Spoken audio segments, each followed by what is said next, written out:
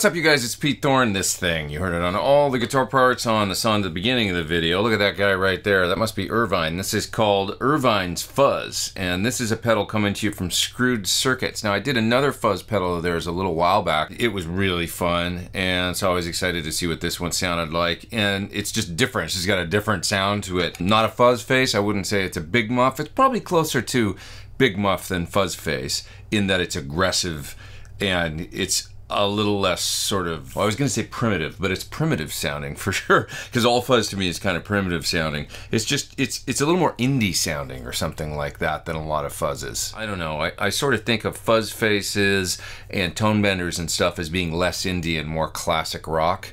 And then the Big Muff, of course, Gilmour used it a lot, but then it kind of crossed over into Smashing Pumpkins and stuff, so it gets a little more like alternative rock, indie rock. So, anyways, I would put this in the more alternative rock, indie rock kind of category rather than the, you know, like bluesy or uh, proto classic rock, something like that category. Is that even a category? So it's a fuzz, and it's also got this uh, wobble, which is basically kind of like stutter tremolo. You can go all the way from super slow all the way up to fast, but the depth is set. So this control right here is kind of like speed control for the on-off stutter effect. And it's got its own foot switch. You can turn it on and off. So for the first little um, kind of like arpeggio part I played in the song at the beginning of the video, and then the little melody when all the rhythm guitars dropped out, I had that on.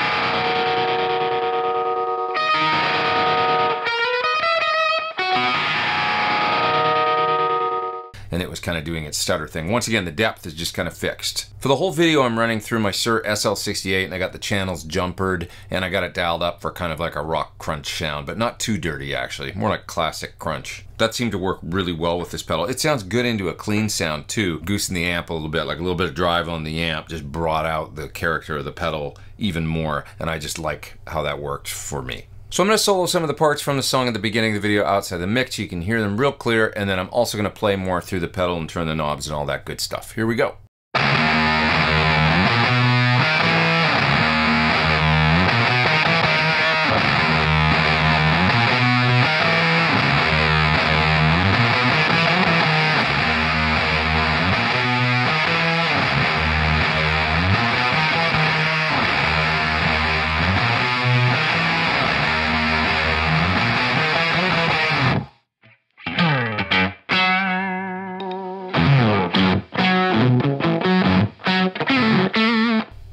So let's take a look at the pedal a little bit closer. You basically got four controls here. There's a volume, a disto, I think it says disto, distortion amount.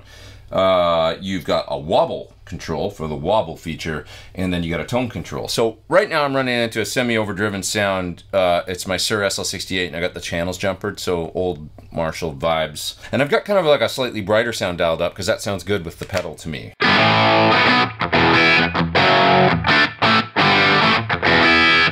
It's a little like gnarly on its own, but when I turn the fuzz on, it speaks nice and clear, and that worked well in the track. So I'll show you what it sounds like.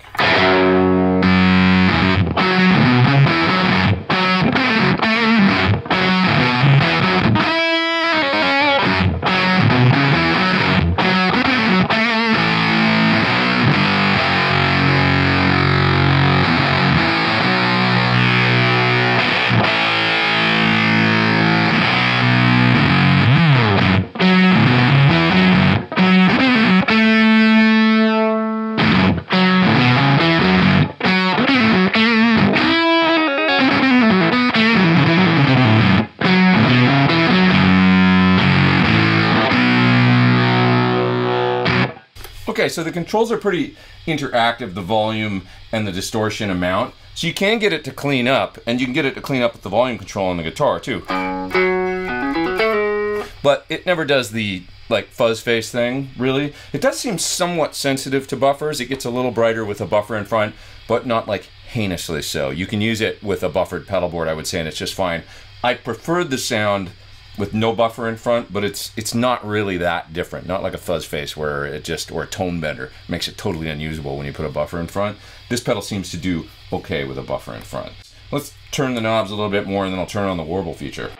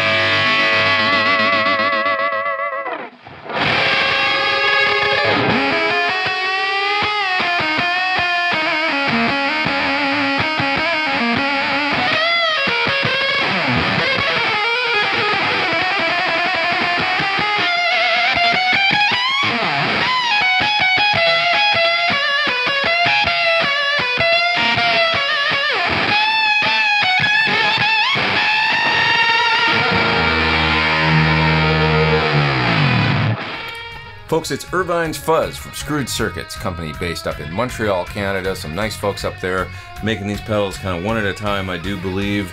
It's a really, really cool fuzz tone that's got an aggressive kind of ripping sound to it. I like fuzz. It's not for everybody, the fuzz effect, but folks that get it, they really get it, and it kind of can become like uh, an integral part of their tone. When I think of players, you know, even as diverse as Gilmour, Jack White, Billy Corgan, I mean, the fuzz is like a massive part of the sound. So this is one for those sonic explorers out there that really want to get out there and try something different. It's Irvine's Fuzz from Screwed Circuitz. You can check it out further at the website down there in the video video description below. Click there, it'll take you to more info about this fine pedal. Please hit subscribe if you haven't hit the bell beside the subscribe. You'll get an alert when I put out new videos. I am Pete Thorn. Take care, you guys.